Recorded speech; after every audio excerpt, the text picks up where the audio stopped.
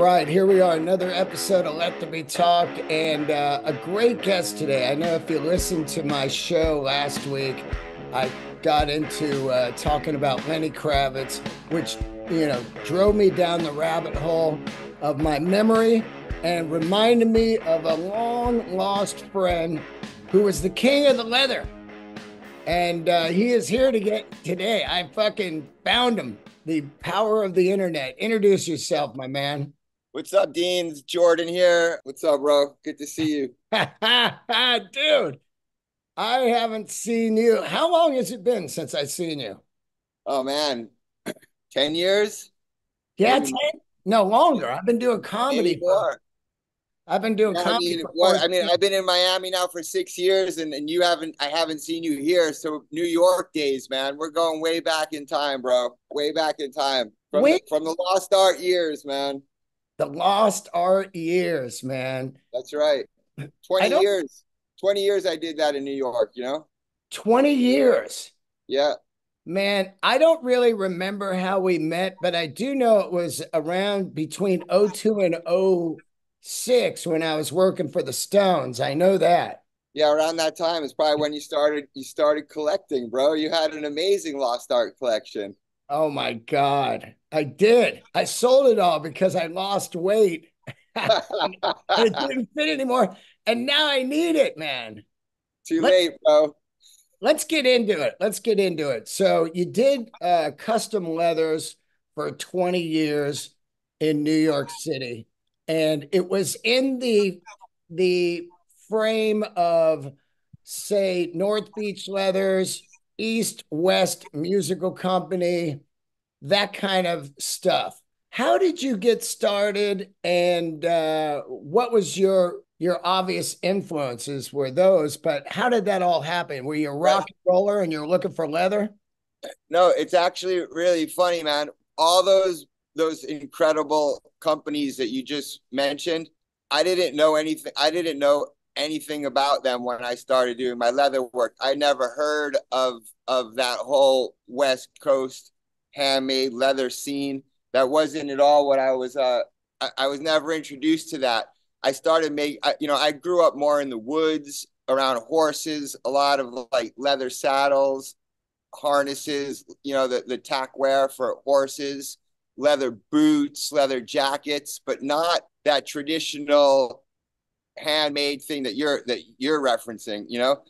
Once I I made my I started my leather work by making stuff for myself. I made myself a bag. That was my first thing I ever made. I was like, I need a leather bag. I'm going to make it after I did that and I got the, the, you know the ball started to roll a little bit, the words started getting out there. That's when I got introduced to Anna Sui, who's like quite an established designer in the fashion world.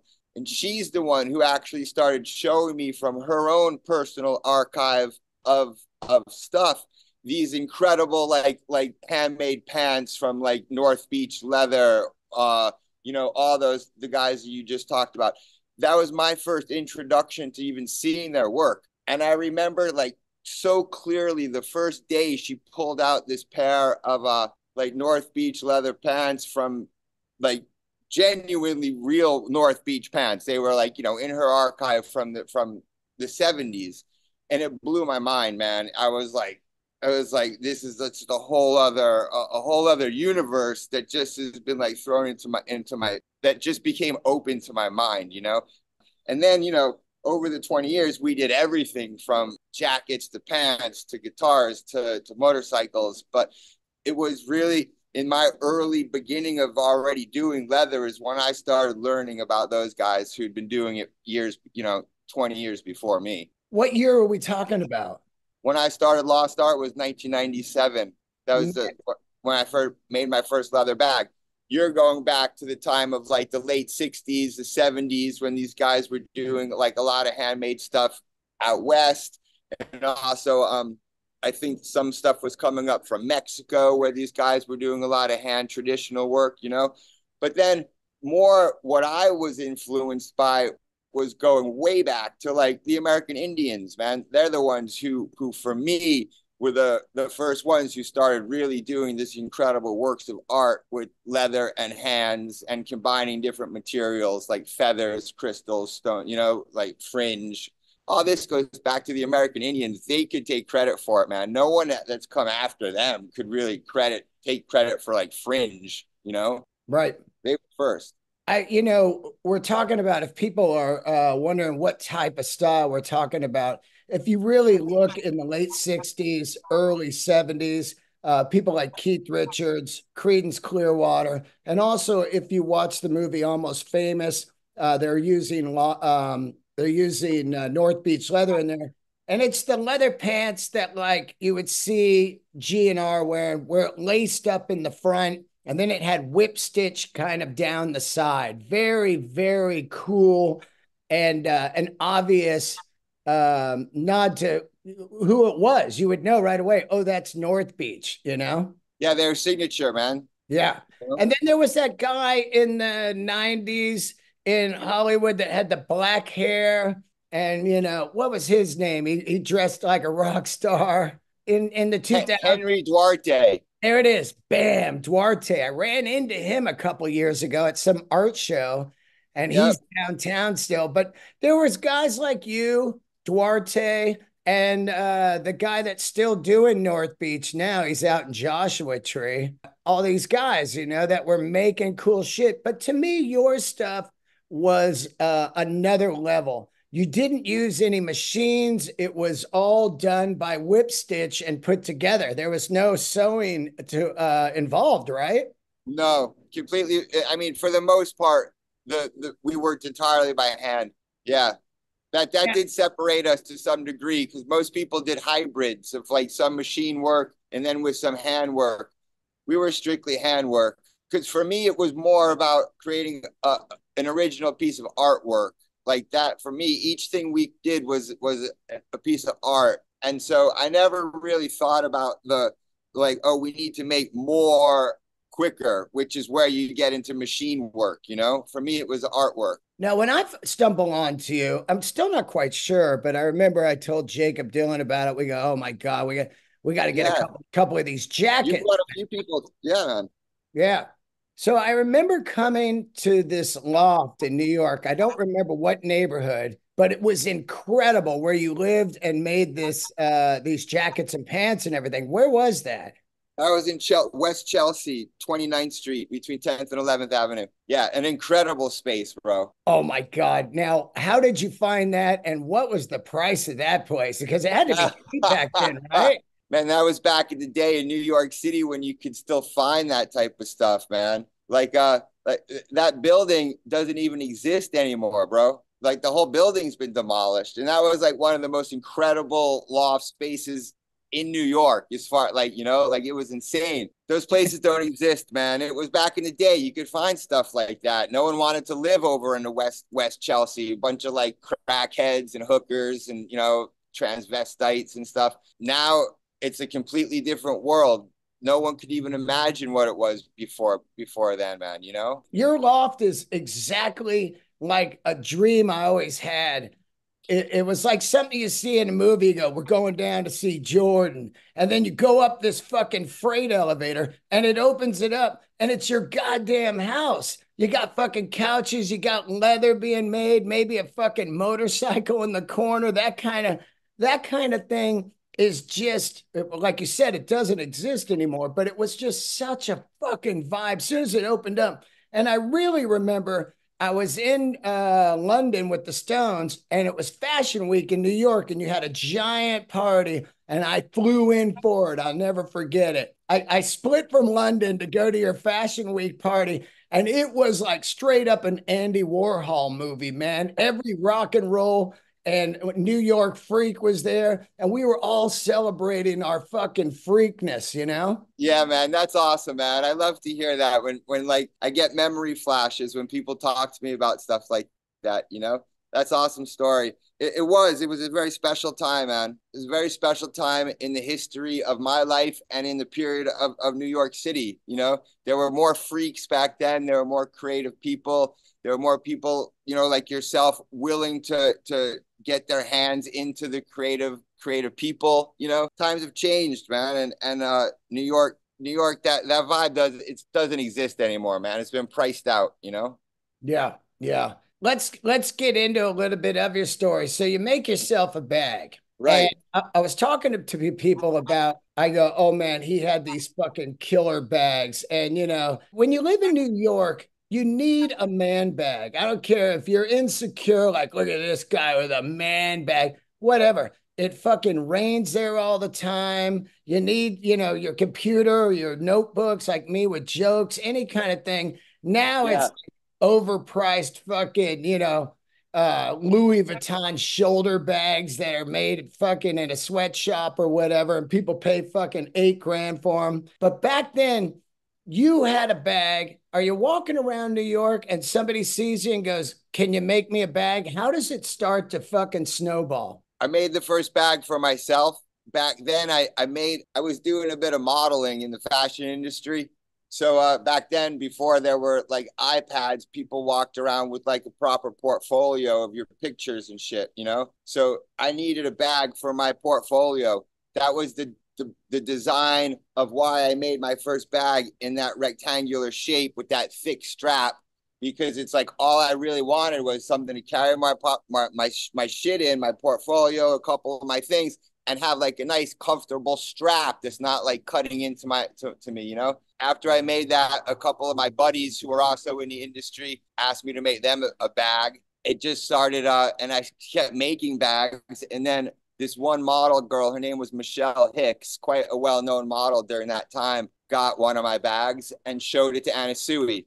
Anna Sui then asked to like meet with me. And it was through the next few years where she would commission me to do pieces for her collections every season. And she, she had the the vision to keep asking me to do different stuff that I never had done before. So she was like, like I'm gonna each season was a new challenge for me. So she, you know, pants one season, then the next season like three or four jackets, and then like a guitar case for that uh the, the guy from the Smashing Pumpkins would, would carried. You know, like she connected me with a lot of cool people and she challenged me and pushed me creatively. And because it was all being done as lost art for Anna Sui. It was getting quite a bit of press generation, like a lot of press. A lot of, you know, people were like, who's making this stuff? Because it was so much more unique or different than what they were used to seeing so it just started snowballing. And then once the press and the editors and the stylists started getting like more known to, to what we were doing, it just really took off, man. It took off. At that time, there was like,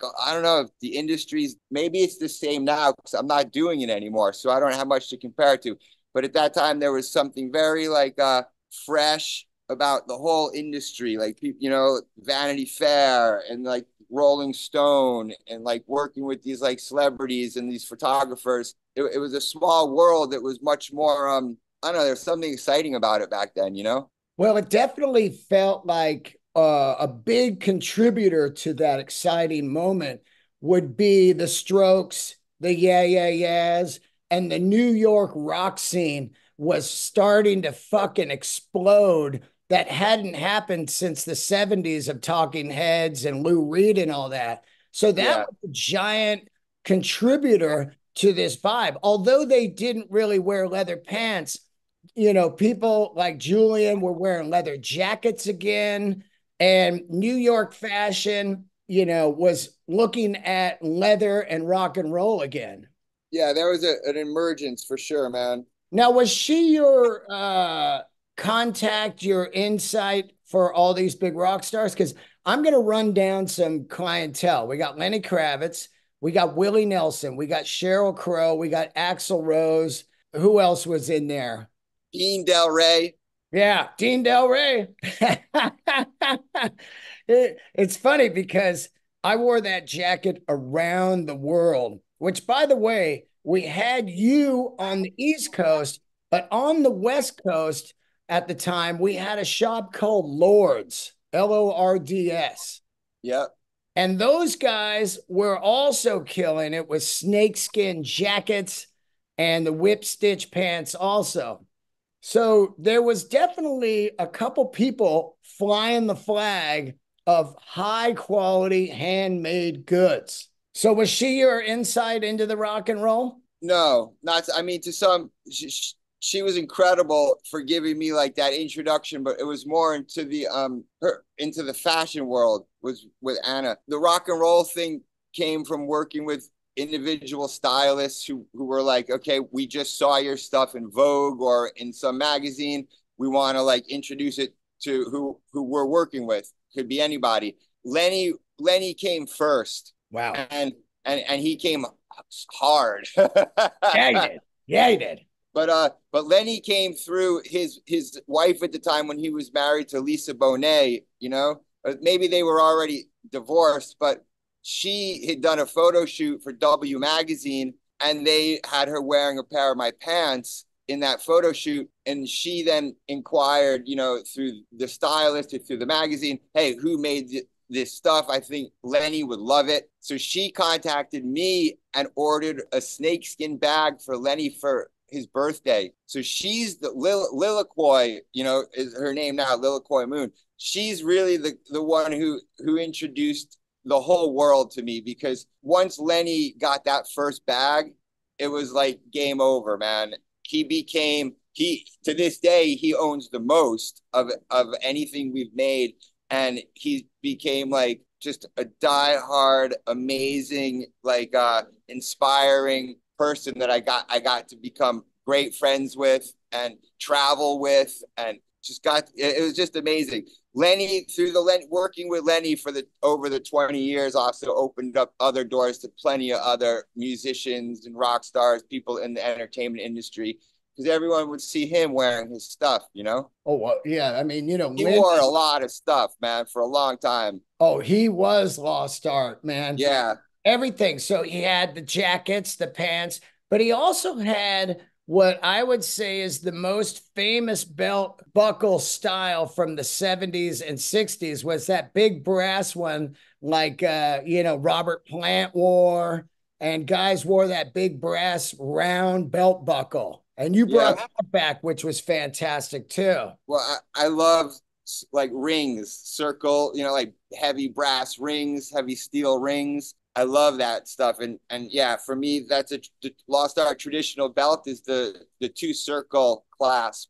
two two ring clasp belt. I love it, man. I love it. Morrison was the first guy I ever saw with the double ring where you just put the you know, when I saw him wear that, I I hunted one for years in the Haight Ashbury. Found one one day, wore the fuck out of that thing for years, man. Yeah, man. That's the shit. Uh, that is the shit. I still wear one to this day, bro. That's the only belt I wear is my double ring belt, man. God, I love it. Now, when Lenny first comes in, does he come down? Are you at the loft at that time, or are you st- or are you somewhere else at that time? I had my my first studio was in the meatpacking district on Little West 12th Street. It was in like a, a friend of mine had a, a big loft, like same type of deal, like a commercial space that he had made into like a, a hidden living situation, and and he he when I started working leather, he got interested in it too, and he was like, you know, you could set up your studio here and work here and make stuff. He would make stuff as well. I don't remember if I met Lenny during those years. I was like, I think I was there for two years in that studio,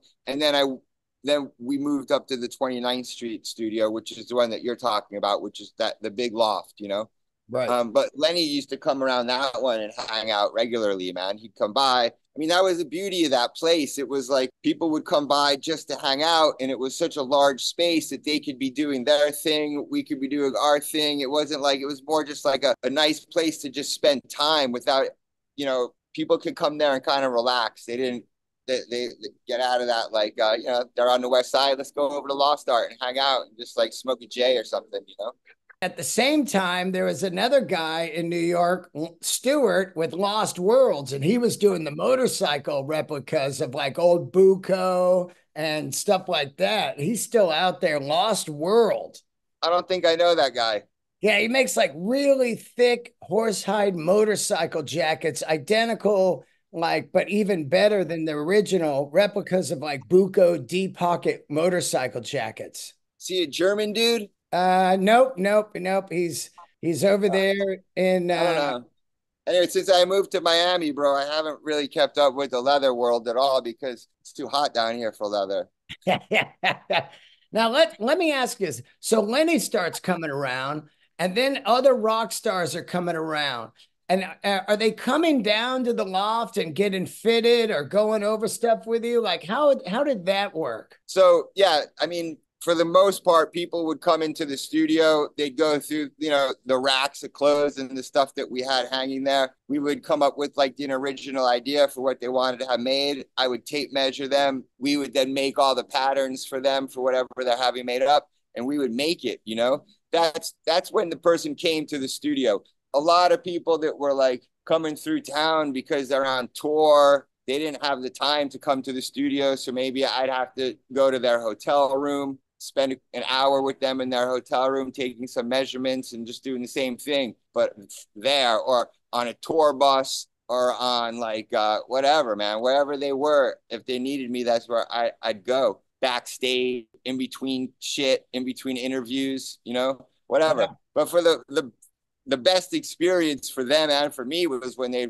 come to the studio and we would get to like you know play guitars hang out you know they could see the leather the, the real way. So a lot of cool people came through during the, I was in that space for 10 years, the wow. big loft for 10 years. After that, I moved to another loft, but it was a little bit, quite a bit smaller. But during the 10 year period of that in the big place, uh, so many cool, fun, interesting, like creative people came through, and it just added to the whole energy of it. You know, the whole the whole vibe of that place was amazing. I mean, I remember you brought Jakob through a couple times. I don't know if I mean I remember him coming through a few times. Like it was just like that. One person would get something made, and then you know a month later they'd be like, "Hey, I, I my friend saw it. They, they I want to come by and show my friend your place and come in, and they want to get something made." Someone else from a different uh, the band or a different band you know word of mouth man. You got any great memories? Like what about Axl? He got some stuff right? Yeah tons of stuff man. You you remember came, any stories on him? Oh my gosh.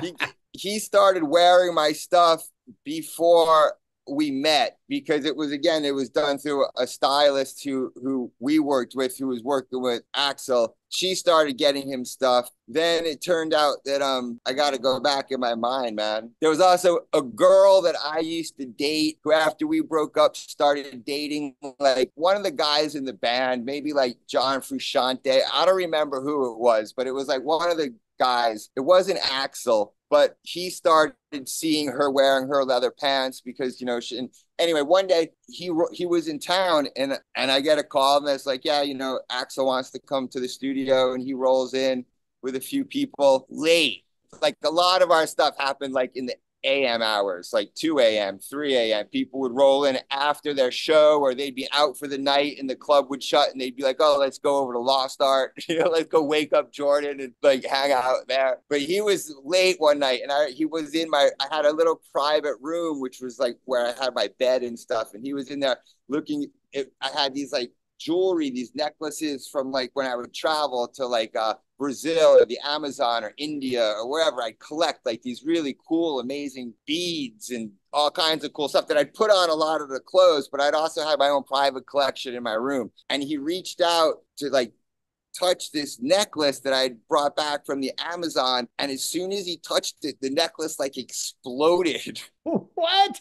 it was like, and the beads like were, all fell on the floor, and like some of them like like broke, and it like he felt terrible but it was like the craziest thing because we're both like it didn't he hardly even touched it man it was just like some kind of weird energy thing like that moment it just like so I, that's my memory of Axl hanging out at my place i'm like don't touch anything bro I remember when I was there one time, you were covering Lenny Kravitz flying V and Gator. Yeah, we did a, a, a, we worked with Gibson sent us the stock wood Flying V. We covered it all up in alligator and leather and then send it back. Well, then send it to Lenny's guitar tech who then like set it all up with the electronics. And yeah, man, it sounded amazing. He played it. That awesome. thing so good. Now, let me ask you at, at what point you start fucking exploding and you have to have some employees, right? How many employees did you have at one point? The biggest? Couple.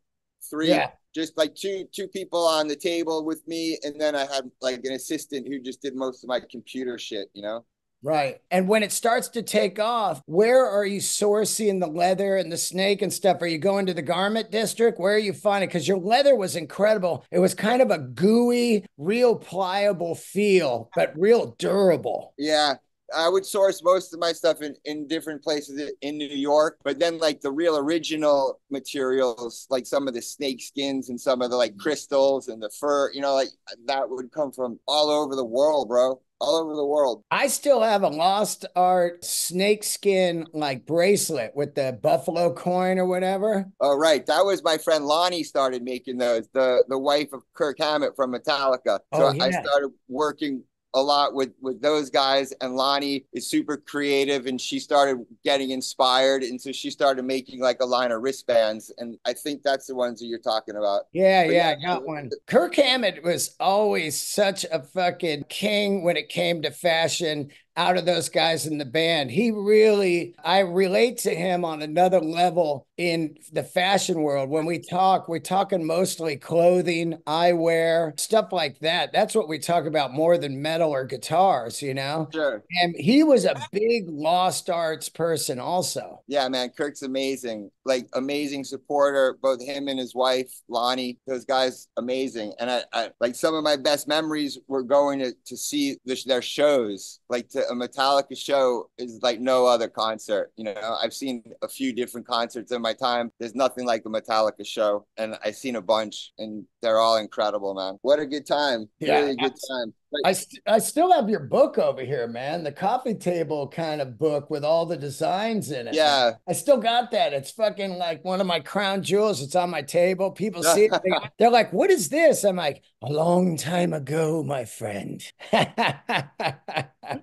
it's an antique by now, bro. That's a vintage book. It's fucking cool, though. Now, let uh, me ask you, where does it start to go south? Because you did it for 20 years, and now we're going to get into your next phase of your life. But what happens? Where do, do people stop wearing leather, or does it cost too much to live in New York, or or everything? What happens? Yeah, I think a little bit of everything what you just said happened at once. And after doing something that was so labor intensive for 20 years. Just my whole team and myself, we were just tired, bro. You start getting pains in your hands and your elbows, your forearms from like 20 years of doing the same type of repetition. We were just tired. I, I, I had the opportunity to work with most of the like iconic people who I had like a lot of respect for and and had hoped that someday I'd be able to to do something for. I got the checked out box for almost everybody. We expanded into like we did some really cool art and design projects like the wings for the Victoria's Secret fashion shows, some motorcycles, just like more like very interesting stuff. And afterwards I'm just like there's really nothing like I don't know what I want to do next. I've already done that you know new york was going through some changes. I wasn't really i, I wasn't really so didn't think the changes were positive. I preferred the the, the old ways because i'm kind of that way in everything you know? It was just a time to be like you know what? This has been a, an amazing time in my life. 20 years has been like checked. I wrote the book now I could just like uh, chill a little bit, go try to do something else. It, the grind of doing it every day, constantly the work, so much work, man, so many hours of work. It just made me tired at the end. I needed I needed to step away and be like, hey, that was good, but let's move on. And the, the women I had working with me had been with me for years and years and years. So it was like part of my family and they were tired. And I, just the, the idea of thinking of finding new people and starting to train them and trying to like you know get it uh, uh, it was just like forget it man better to like have the good memory and than to try to like keep it going. Well, what I always uh, find when I interview uh, artisans on the show, and it always seems to happen like this, the artist is such an artist that when the business side comes into it, it becomes taxing and most of them don't want to fuck with it and the whole thing just drops to the you know to the ground. It ends because they're like you know what? Fuck all this man you know? And that's the truth that's the truth, man. To some degree, that happened with me. I mean, obviously, in the early years, I'm I'm at the table 10 hours a day doing everything hands on as the years go by you tend to be doing less and you you're watching the other people who are working with you doing the work and you're doing more like bullshit stuff, man. Talking to people, dealing with fucking shit, making sure that there's enough leather for the next like like you know like you're kind of living in the future. You're not living in the moment. You got to always be thinking like okay how do what's next? How do i make sure that i'm staying ahead of everything that i got to stay ahead of? And it just kind of after doing it for 20 years of any business anything man i don't care what it is just takes a toll and you get a little burned out. That's it. Yeah i understand it. I understand it. So when you reach that toll do you just say that's it you close and you move, or do you say we're done and you're sitting around for a while figuring out what you want to do in life? No, man. I just said, fuck it. I'm moving to Miami fast. Wow. And what, I, what made you like, choose Miami? I had a couple buddies of mine from New York who moved down to Miami like maybe like two two years prior to that. They loved it, man. They were like, this place is it's on the upswing. Whereas like like cities kind of in my in my mind, you could feel a city that's having a good moment, which Miami is right now and has been for the last couple years. So it's nice. Like I came down here to check it out and I was like, fuck, man, this is this is pretty nice, man. I can't do leather here because it's too hot. You know, a few years before I finished doing Lost Art, I was also doing a lot of painting. I figured I could just continue with my painting while I'm here and get that going. And then uh, I did that, you know, and I, that's what I'm doing. I'm a painter in Miami. And I also have been, you know, working on some choppers. That's amazing, man. Before we get into the choppers, one last question on the leather era. Do big stars ever call you anymore like Lenny and go, hey, man, can you make me something? Well, I still run into Lenny, you know, here and there, and especially in Miami. So he knows that I'm not making anything anymore. You know, at that time when I left New York, I was um married. I don't know if you met my wife's son at that time. I don't know. We might have. Yeah. I did. You did, right? Okay. Yep. So Son worked with me with Lost Art for like quite a number of years while we were a, a couple. And then when I decided to move to Miami, she continued doing it. So like as far as I know, she's still making stuff for for any of the clients that still want stuff to be made. It's definitely not like she's not promoting it like I used to, you know? Like I was much more of like, you know, I want to get my brand out there. She's just like, you know, if people want stuff done and they're still returning clients who are always asking for more stuff, that's what she's doing. That's why the website's still up, thelostart.com. Oh, wow. Wow. I had no idea. I was wondering because the website was still up and I was like, oh shit, here he is right here. And then I emailed and I guess she's the one that gave me your phone number. Okay. Yeah. Wild. So she's yeah, still man. making stuff, huh? She is. Yeah. And she makes incredible stuff, bro. Like she has a bit of her own style, but it's it's like amazing, well made. She's super talented. So yeah, if you want something, get in touch with her. Wow. And is she doing the style of jackets like you used to do? Handmade. Wow. All by hand, bro. Yeah. Wow. Yeah, she she's got the skills. She knows how to do it all, man. I'll stop in there when I'm in next uh, New York next month. Right on. No, she's in Miami, bro. Oh, she's in Miami. Yeah, she moved down here too, like a little uh and um but we're not together anymore. But she's she's doing the leather work that she needs to do down here in Miami. Wow, that's wild. Yeah. So so you're painting, and then you get the uh, chopper bug, and you decide you've never built a chopper. You don't know electrical or or fabrication or welding or anything. I've rode choppers all my life. And it's very yeah. cool to see that you have taken on another thing. A lot like myself, I started comedy at 44 and never did it. I'm going to do comedy. You're the same way. You're like, you know what? I'm going to build fucking choppers. I don't know how to do it. But I watched a lot of your YouTube videos, and it's a lot like comedy. You found a teacher, you recommend people find a teacher, and yeah. uh, you become an apprentice, uh, quote unquote. That's what I was doing in comedy, sitting in the back room of the comedy store, watching the fucking masters uh, craft their one hour sets. And you are doing kind of the same thing. And now you're building choppers, Rasta choppers.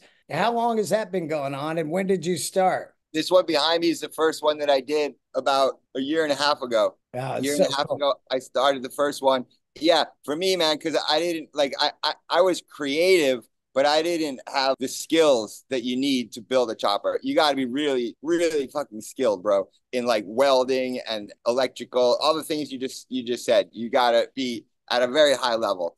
So I didn't have those skills, but I found a, a teacher who was this amazing guy from Cuba who just like is a complete genius. I mean, he only speaks Spanish. I I only speak a little bit of Spanish most of our, our communication is just him pointing and like me learning as, as I go. But being around him and watching what he's capable of doing was just like one of the most mind blowing experiences of my life, man. When you're around that stuff, and like me, I get inspired by handwork, by craftsmen. Like that's my, my whole thing, you know? So it's not it, it's a completely different type of craftsmanship than working with leather. In the the big picture, it's all like the same, man. And I find it really inspiring to be in that environment. So for me, just being in the garage, smelling the gas, smelling the, the oil, like seeing the welding, the sparks flying everywhere. It's fucking awesome. Well, the chopper is a lot like the leather world where there's been so many styles over the years, and choppers and leather go hand in hand. Uh, hand in hand, bro. Starting back with the outlaw motorcycle clubs and the wild one, Marlon Brando, and of course the holy grail, Easy Rider. But I grew up around choppers, and I know. choppers have gone through so many phases, and a lot of people don't understand when you're building a chopper, there's two choppers. There's the unrideable and there's the rideable. And the unrideables were happening with the o- Orange County chopper type of people with the 300 rear tire and the right. fucking goofy fucking shit welded on it like a fucking Spider-Man face and stuff. But the real rideable choppers like the San Francisco motorcycle clubs were doing with the mid controls up a little bit so you can just haul ass, but the cool fucking look. That's the ultimate chopper. Stuff like uh, Jesse James was building, Roland Sands was building. Um, all of these guys out on the West Coast that were killing it. And a lot of people don't even know uh, that uh, a couple of brothers built the Easy Rider choppers, which was amazing to think back in that era of motorcycles when it was, uh, you know, primarily a uh, a white culture, say, and these two brothers built the coolest choppers ever. And there's yep. amazing history. If you've seen the history of the chopper that Jesse James put out, that TV show, it's fucking mind boggling. Yeah. Yeah. No, man, it's a whole world. It's an incredible, it's an incredible world of artists, man. That's kind of been overlooked, I think, because they're working in maybe functioning art rather than just like an art thing that, that doesn't have any function. To, to make a chopper, you're an, you you're you have to definitely have the spirit and the soul of an artist. You know, it's been an incredible experience. So I did this is my first one. I'll show you. Yeah. Love it. Sports yeah. motor. You yeah. got the uh, king and queen seat. Yep. You got the fucking Springer front end. Awesome yep. looking. Yep.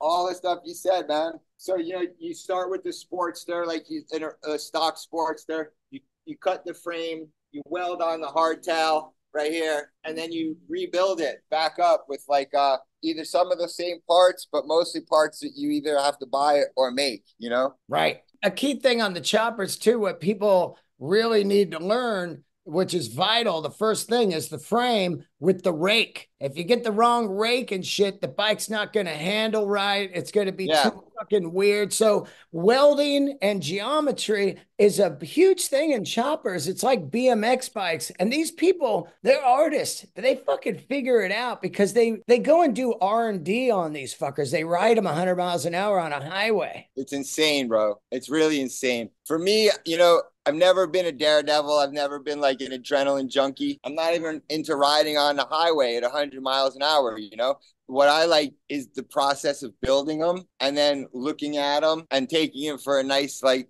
cruise around the neighborhood. That's good for me, man, you know? But it's really just like a piece of art. It's like a sculpture. I'd rather look at that than some sculpture of some piece of metal that doesn't really make any sense. That makes more sense to me, you know? After that one, I was addicted to it. And so I started a second one right away. That one got finished. So I've got two under my belt, man. I'm ready to start the third one. And did you sell the second one? No, I got it here. I don't want to sell it. I'm not looking to sell my bikes, you know? Um, right. if someone wanted to make one, that would be the best thing. I, just, I would like, just like Lost Art, they wanted to have a custom jacket made or custom pair of pants, whatever.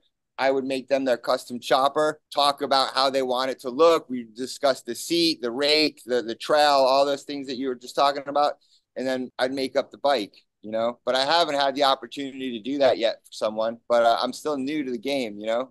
Here's so what I have been doing though is these videos, and I just been putting my videos on my my YouTube channel. Which, you know, Rasta Choppers is the YouTube channel, and that for me is just like a cool way to get the word out there and and to show show the bikes and uh, seeing that people are getting like interested and inspired to build their own chopper. So if I could kind of push them on their way and help them a little bit and get them to the point where they're building their own bike just like I did, then that's badass. For me, that's like cool. One person builds a chopper that that from watching my video, then I'm like, I just I accomplished my goal. Now, my question for you is, did you make the seat, the leather seat? I didn't. but I added I did add some leather to it. I don't know if you noticed, man. I put uh I added like a little a little braid with some feather, you know. Oh yeah. There's right? some there's some Jordan flavor right there. But it's not at all a representation of of what I do, bro. But you know what? Making a seat is a, a whole new a whole new thing. I will it one day maybe make a seat, but I gotta like uh I'll tell you, I gotta tell you what the greatest seat the greatest seat maker, there's two of them. There, you know, Paul Cox, who does the yep. handmade whip stitch. Paul Cox being one of the greatest chopper builders I've ever met and a pure artist. And then also we had uh what's his name? Uh out there in Malibu. Fuck, he, he makes jackets and motorcycle seats and everything. Shit, what is his name? I can't even fucking remember right now. And I know the guy. He lives in Cabo part time, but he makes motorcycle seats also. And he did a lot of stuff for Jesse. When I did Lost Art, I had a guy who asked me to cover. I don't know. Remember, I covered his entire chopper in snakeskin. You did? yeah, we covered the tank, the fender and snakeskin, and then the headlight and the grips and the seat I did in leather. So I've done the outside of a bike before. I should be getting into doing my seat, you know, but it's just so much work. but I'll send you pictures, bro, of the, the the bike, the chopper that I did, man. We, we put we stitched Lost Art into the seat with like big heavy stitching super badass, welded all around the tank and covered in snake skin. Yeah, you could go crazy on a chopper, man. Like that's why they're so cool because you could just like there's a lot, a lot of creativity that you could work into them. Have you had an opportunity to talk to Lenny about choppers? Because he's a motorcycle. No, I haven't talked to him in quite a while. Not since I've been building the bike. Right. Let's get this straight before uh, we go any further. Now, when his crotch blew out on his leather pants and his dick flew out, that wasn't your no. Opinion, right? They were not lost art leather pants, man. That's why they failed. Leather pants don't rip, bro. Yeah, yeah. Oh shit. you're right. You're right. Man. Well, I'll tell you what, man, it's so great to touch base with you again. There's people in my life that have really um, you know, been amazing and a big part of me, you know, like me, I wear clothing and people go, wow, look at that fucking jacket. And, you know, you were at a period of my time when I was working with the Stones, I was just wearing the best fucking shit. And I absolutely loved your jacket. I did a I did a 10 month tour on stage wearing your jacket, that black one. I remember, bro. I remember seeing the video clips, man. Yeah.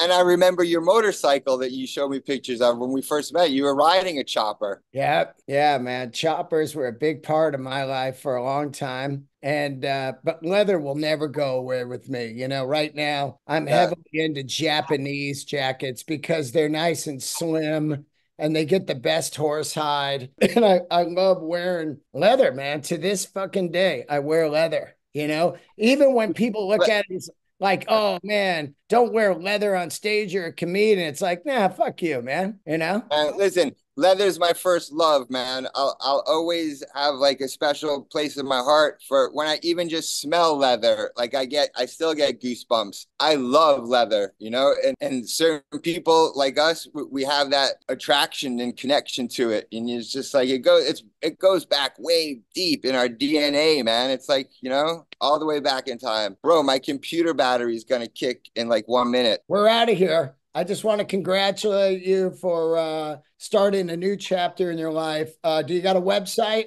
The YouTube channel, Rasta Choppers at YouTube. Rasta Choppers. And, and the Instagram is Rasta Choppers as well. I miss Bro, you. it's so good talking to you, man. I'm so happy to hear how like I saw your videos. You're hysterical. I was cracking up. It's amazing that you're doing what you're doing, man. And I'm glad that we reconnected. It was uh it's been a few years, so now we're together again, bro. Thank you for having me on your show. I appreciate it. I Lots love of it. love, man. I'll see you when I'm in Miami. Come to Miami. Let's ride some bikes, man. Candles lit, buddy. Cool, bro. Talk to you later. Yeah.